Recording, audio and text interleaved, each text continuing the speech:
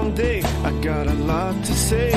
It feels like I'm carrying a two ton weight. I go to see a friend. Hello, I'm Monsignor Patrick Winslow, And I am Father Matthew Kauth, and we are speaking from the rooftop. a podcast brought to you by Tan Books, in which we invite you to join our conversation out here in the open air. Where we look out upon the world around us from the rooftop of the church and share with you what we see. Makes me wanna scream from rooftop to the street till I know. Uh, hello there, Hello, Father Patrick Winslow. How are you? and I'm fine, Father Matthew Kauth. Just in case people don't know who we are. Trust me, the 10 people listening know who we are. Unfortunately, We actually, I, I have to say, I've, I've had some positive feedback. Rarely people come up and give you negative feedback on this sort of thing, right? They just tune you out. But the and fact feel free not to. Well, yes, we're we're not inviting negative feedback. Um, I, I rather uh, I've been surprised how genuine people seem to be about enjoying their time listening. Uh, that's really kind of exciting to hear. Uh, and as I always say the same thing back to them, I hope that you have friends that you can talk to about deeper spiritual matters. That if anything, if we do anything, I, I pray that inspires you to allow some friendships, uh, indeed, I would hope all your meaningful friendships, to go deeper and to be substantive, uh, because in the end they survive. I don't. mean- I, I was very close to people in college and you know, long ago, but sometimes I have a hard time remembering their names. yeah. You know, I would have never thought that back then, ever, because I couldn't conceive of having a life without them some way in some in some fashion in, in my life. But now, fast forward, you know, how many decades? Uh, we all learn that life moves on, our circumstances change, and uh, distance occurs, and and I can tell you that the relationships that have endured the decades are the ones that had some foundation of something substantive like the faith. Right. It was not dependent on circumstance. Well, it's funny you bring that up. I was just back in Illinois for a funeral, and I've not been back to my hometown in probably Mm. 20 some years. Wow, that must have been nostalgic. It was very weird and wonderful at the same time. I, the people were so kind. How sweet. Um, but it was a rather large funeral of a classmate of mine, and it filled the largest church in city Yeah, I bet it would. he was extremely um, active in the faith. And so the people that came to this were my classmates, you know. Sure. A lot of the people that came. I hadn't seen them this a long. bit of a reunion. So it was. And what was interesting is that those who came came because they were practicing the faith for the most part. Right. It still bound them together. It bound them together. And those who came to talk to me afterwards that were my classmates, and as you say, I didn't I didn't really I need a name have any recollection Right, yeah, of what I- we did or what we didn't do. I mean, Sure. very little. Remembers my football team a little bit more. right. Um, but it was you know those are people I spent four years with and were, were close was close to. At the time. Um, but the discussions we had didn't surround what we did in high school. Right. The discussions surrounded what they've done in some ways up until that point, up to the point we met each other again in the faith. Mm-hmm. Because we all went our separate ways. And these people kept these are the ones that kept the faith. It was so interesting You're still bound. to discuss the fact that, that. Mm-hmm. we're bound by this mystical body of Christ. It was a delightful experience, a really powerful one. It endures time. I mean, obviously. Yeah, and the other circumstances change, and the relationships that are predicated on circumstances, they fall away. yeah. Uh, they just have to. Yeah. Um, but to have the firm ground of faith, it really is it's extraordinary. Yeah, indeed. and to be able to maintain it now you know now you have so many different tools of communication that you can survive the change of circumstances but of course you don't want to accrue so many friends over the arc of time that you have you can barely keep up Yeah. you know with you can- maintaining it's always limited in this it's life. always limited so there are those few that have deeper and greater significance and meaning and they're worth retaining and they're worth making sure that uh, they have a common foundation of something substantive like that of the faith Yeah. and purpose and meaning in life. You know, as, as you were speaking, I, since I wasn't really paying attention, Yeah. um, I was just which thinking. is why, which is why I set my bar really low no, when it comes to friends to how the talk about. circumstances change and and people move on. I was I was just thinking about you know we're in the season here that I, I- I'm thinking a little bit about the Magi and the fact that they spent a very significant portion of their life leaving their lives and going after this king. I love the image of the Magi. I do too. It's my favorite. I mean, And then they leave, but it's like, What did they do? what did they do when they got back? There's They must have had some and inspiration. possibilities and, Yeah. and, uh, and suppose it's somewhat similar to the men that, that wanted to follow The Jesus and he said no, Oh, them. Yeah. or the shepherds, for example, and Yeah. and but I just I got to thinking as you were saying about the circumstances changing and all that. Like for the rest of their lives, this shaped it. Whatever Sure. they did, this was the seminal point. And when they died, and when heaven was opened up to them, because you can imagine that if you traveled across the world to give the baby Jesus, you know, gold, frankincense, and myrrh, you're going to get a nice reward. Yeah. You know, I'm when with no one you. else wants to see him. Yeah. Yeah. That's those magi, you hit. The, you hit the lottery there. I yeah, mean. you hit the Yeah. lottery. So, so of Time the wisely spent. of the classic nativity scene, keeping prescinding from Jesus, Mary, and Joseph. Yeah. Who's your favorite figure at the creche? Well, when I think about you, I, I think about the ox and the ass. I know, I know. I can, That's probably us right there. The you know, pick one. Oh, well, that's a good question.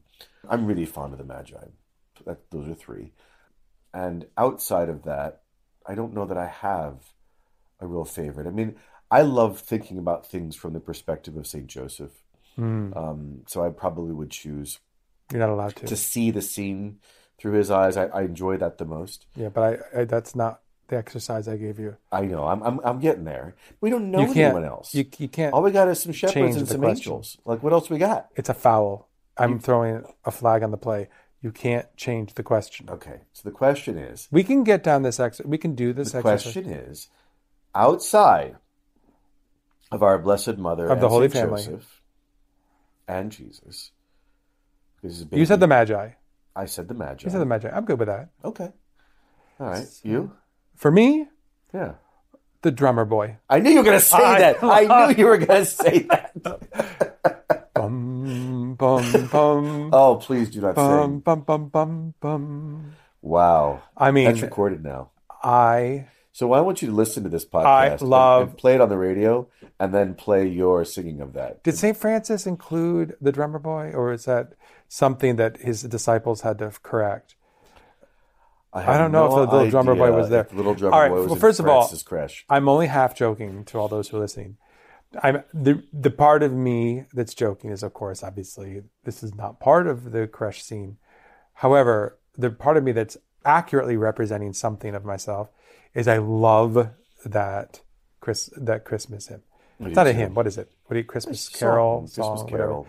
So I love it because it's just so beautiful.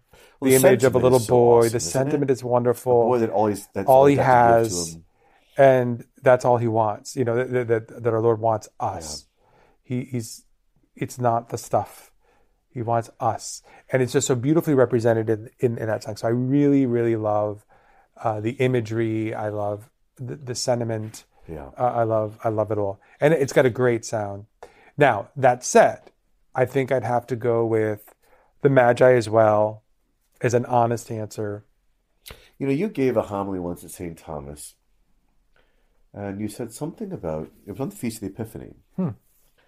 And I remember saying to myself, you need to remember this is this is this is one of those moments where Father Winslow got touched by grace and saw something and you need to remember that because that that's that is a gift of the Holy Spirit right there. Hmm. And I forgot it. so did i i don't remember anyway No.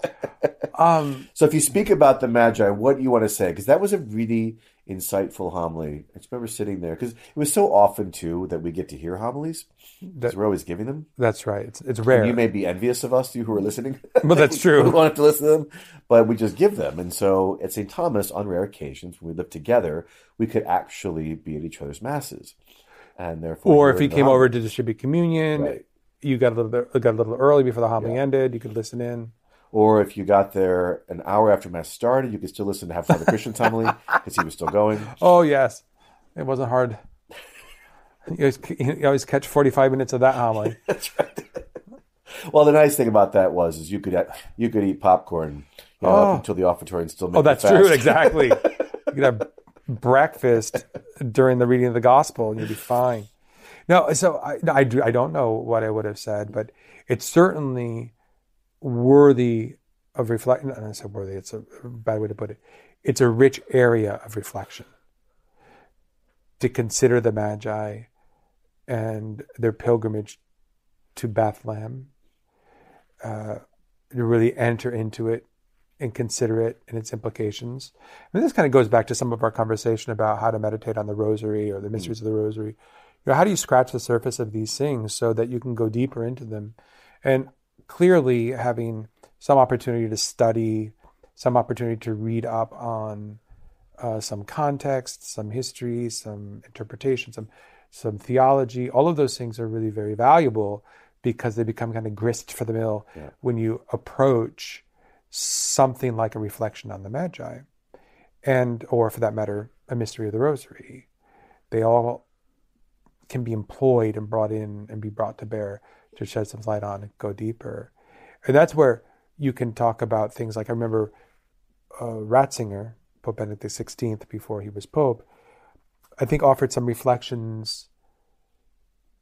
The Magi representing the sciences or something, where I think he talked about how they would be men of the natural studies and the natural world, Reading the natural, the book of nature. the book of nature, and and how nature is finding fulfillment through the scene of the Epiphany, finding its its its fulfillment in the full light of God. And it was really just a very beautiful reflection.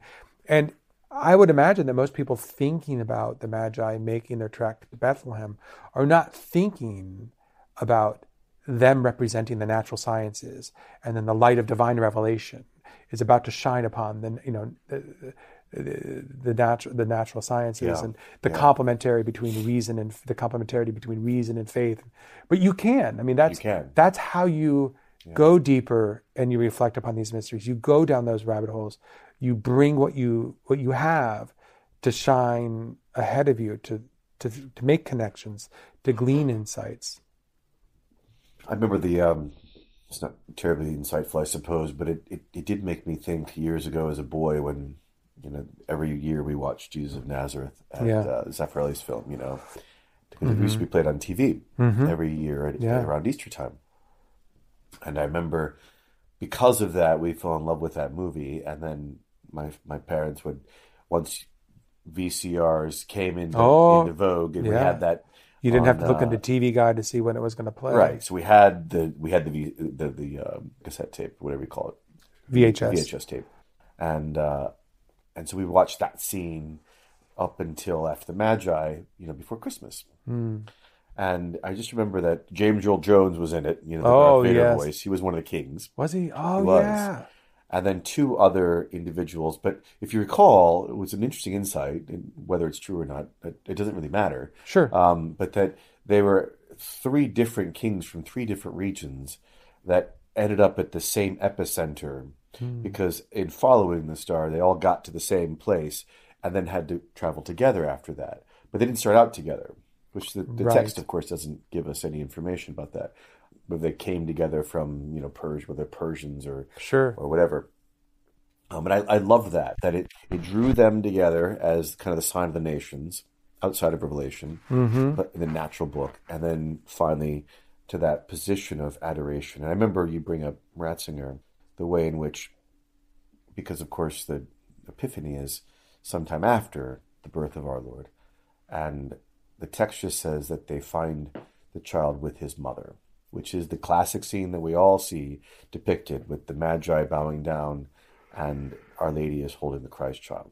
But further than that, I remember Ratzinger noting that they had to they had to bend down to get in there. Wherever they were, it's noted that they had to get inside, bend down to get inside. And of course Ratzinger sees that as a saw that as a uh, a seminal description of the kind of humility that's required, both of our intellects, but even of our bodies, to be able to worship properly. Interesting. That to see Christ, we have to bend down. Right. How beautiful. That's beautiful, like a genuflection or a prostration, etc. That really is, I think, maybe one of the things that we can conclude about some of these thoughts that we're riffing on is that your celebration of Christmas will be made better by your reflection of the mysteries. Yeah. I mean, don't leave. Don't outsource it. yeah, Don't leave it to just someone else to do it for you. And and especially, you know, don't count on the priest to give you the, the one hum that's going to knock you out of the Mm. out of the park kind of a thing. You may or may not get it. Uh huh. And it's a hard it's a hard moment for priests to preach because you often have people that haven't been in church all year.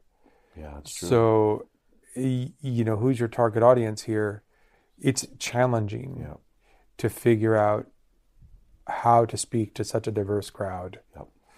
But that said, yeah, you really, you really do. You want to take an opportunity to reflect. You know, stop and look at a manger scene. Think about what was unfolding. Reflect upon. I mean, just reflecting upon even the disposition of the animals, saying how do how do these creatures respond to their Creator made Right. flesh, Right. right? Just even that is a wealthy, a wealth rather, of yeah. of potential reflection What possible discussion happened between Our Lady and Saint Joseph after Hmm. they hear the chorus of angels singing "Glory to God in the highest"? Right. Shepherds come, they leave, everything's quiet again. What just happened? Yes. And did our did our Lord have a you know did he cry as a baby? Did he uh, uh, did he have a full head of hair? I mean, it went one way or the other. He was he was a baldy, or he had a full head of hair. Or, you know, it was either dark or it was light, or uh, I don't know. But it's but then you start to think about these these realities. It kind of drives home that he was infleshed because you can't. You just can't equivocate on these things. They, it lands somewhere. It lands It somewhere. lands out of color. It lands lands, out of volume. It lands out of size. There is a weight. This There's is a height. This is the There's a footprint. particularity. Yes. You know, it lands. And just thinking about those things and saying, my goodness, he became man. I mean, it didn't, he just didn't become a concept of man. He actually became one. and whatever you know whatever uh, persons that were the shepherds that evening or persons that were in the inn um, that wasn't closed to them etc every one of them i mean how many of them knew that the son of god was there well none right none Yeah. except the ones to whom the angel Yeah. mentioned it and i thought to myself this morning when i was praying i asked myself that question about why did the shepherds get to go they weren't waiting for the Messiah. They weren't looking for the Messiah. But it, talk about our Lord's poverty, in you know, not just in the, being born in the manger in the stable, not having a place to lay his head, no inn, et cetera, et cetera. But no one was looking for him. Hmm. But at least the shepherds were watching for something. They were just watching for sheep, and that was good enough. Hmm. As if to say, our Lord, like, okay, at least you're up and you're watching for something. I'll let you in on the secret. Even Well, yeah. Or, you know, as you're saying that, I'm thinking to myself, maybe it was the angel saying, I'm sorry. The human family may be so broken and asleep to their own condition that they can't see that God was just made flesh. I'm going to wake up a few. I'm going to wake up a few. Uh, you know, well, they're already awake. got- so these are already awake. Exactly. I'm going to get the guys that are awake. I'm going to get the, exactly. I'm going to bring it in. yep. Uh, because got to they're, they're already awake. If the stones are going to cry out, Exactly. How come you know, it's kind, of, it's kind of like the angels looking at us with pity to say, "Oh, for Pete's sake, I gotta, I'm not keeping I gotta the secret sh- exactly, I gotta shake a few of these up. They're missing it. You know, you gotta let somebody know. and you know what? They probably went and got the little drummer boy too. Oh, that's where the drummer boy came in. That's right, because he started playing and people woke up. Exactly. Yeah. He was practicing at night because his mother didn't like the drum, and so Uh-huh. as during the day, But Jesus would hear. he had to do it, chores. and so Oh. he couldn't do it. So he he snuck out at night. See, this isn't a, this is in the apocryphal gospel. He snuck out at This night is like to go play his drum because he couldn't play it during the day, and he walked to a Some secret- nearby field Secret, recently discovered manuscript describing and he saw a light emanating from the nativity according to the drummer boy. And he That'd be a fun book to write. I would love that. The nativity, The nativity from the eyes of the drummer of the boy. drummer boy. Oh, I'd read it. I'd write it. You'd Oh, write good. It Oh, write it. You go ahead and write it. You do the hard work. I want. I want the. I want that would be beautiful. I'd love it. But suffice it to say, do the work. Do the work of thinking, of asking God the questions, Yeah. looking at these things, make them particular because he didn't become an icon. Right? Hmm. He became a man. It's it's true, and so much of our our life is interior. You know, that's really where we view the world around us, engage the world around us from this interior place. Don't just expect. I would say I would counsel anybody not to just look outside oneself to be fed, but look inside oneself to, to, to peer, to gaze, to ask the questions, to explore what you already know to deeper levels. Uh, it's a bit like you a lot of ingredients are there, but put them together. Uh, see see how they, they come together and, and nourish you in different ways. Amen. It's a bit like me and my cupboard with flour and sugar and vanilla. I mean, that's really boring, but I can make one heck of a cookie. You know, I mean, hey, that's what you're doing. I don't need any ingredients. It's, you, you realize that sometimes you're just sitting there like, what, what, what do I want? What do I want? And then you realize I have ingredients. Oh, I can make something. You can make something. Oh, all of that can, you know, these cookies can come out of that together. closet, right? Not without some effort on my part, but I can make that happen. It's all right there. It's the same sort of thing. You have so much already in your in your noggin, in your interior life. It's just a matter of Amen. putting them together and, and seeing what you can come up with. Well, since you have moved us on to food, Oh yes. before we go, Hmm. I am intrigued if you've considered yet what your Christmas meal is going to be. That sounds to me like you have. Well, I because I've not settled yet. That's why I'm asking the Oh. question. So I've done so many different things over the years. So what is the most common? I'll tell you what our most common beef is the most common Yeah, Christmas. okay, yeah. I mean, someone told me once, um, "What about a ham?" And I looked at them and thought, "That's like a snack. You don't eat ham is the main course. a Snack.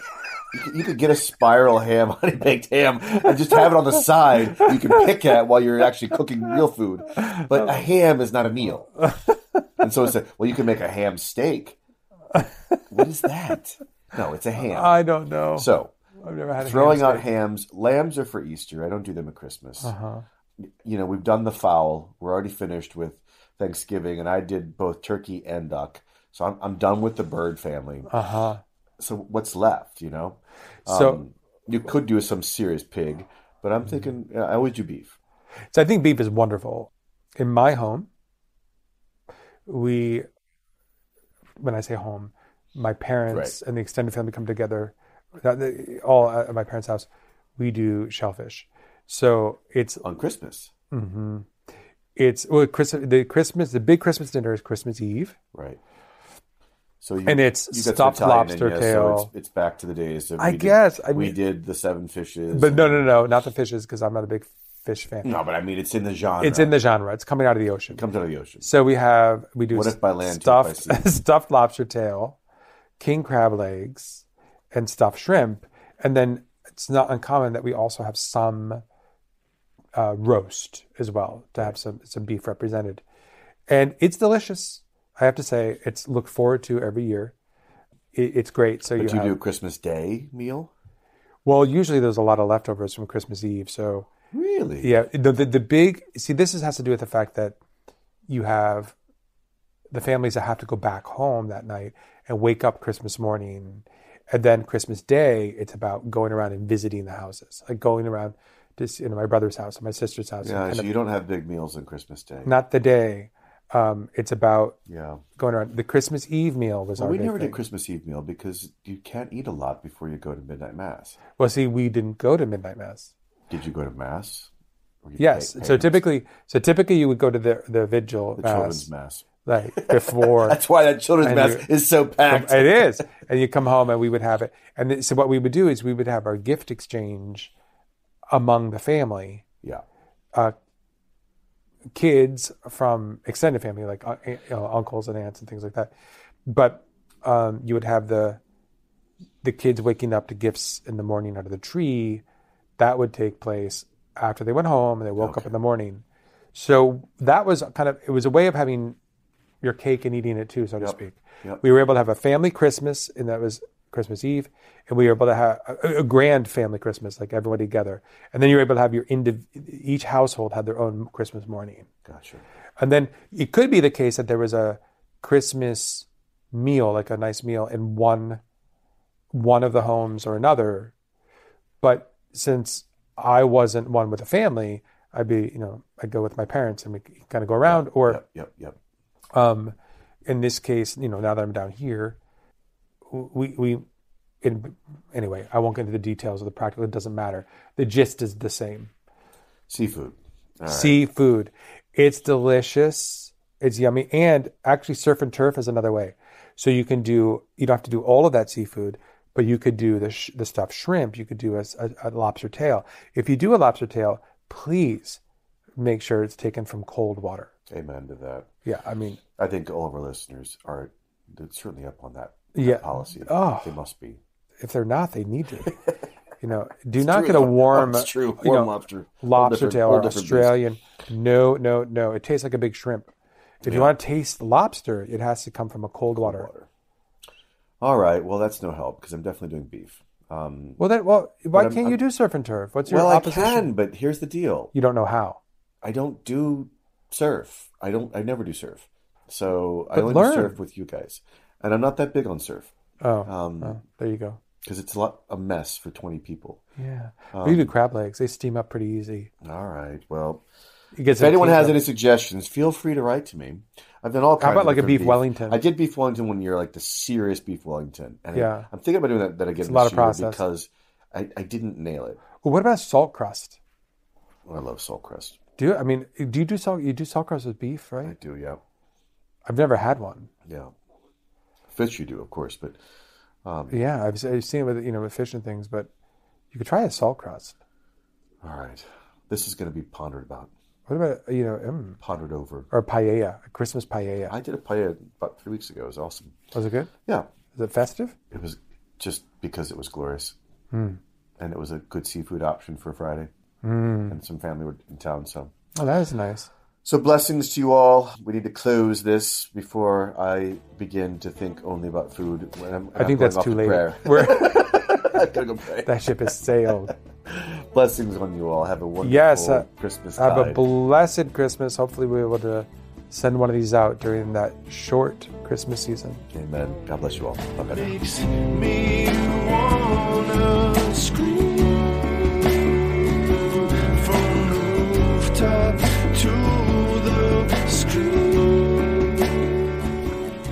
Thanks for listening to this episode of From the Rooftop. For updates about new episodes, special guests, and exclusive deals for From the Rooftop listeners, sign up at rooftoppodcast.com. And remember, for more great ways to deepen your faith, check out all the spiritual resources available at tanbooks.com. And we'll see you again next time. From the Rooftop.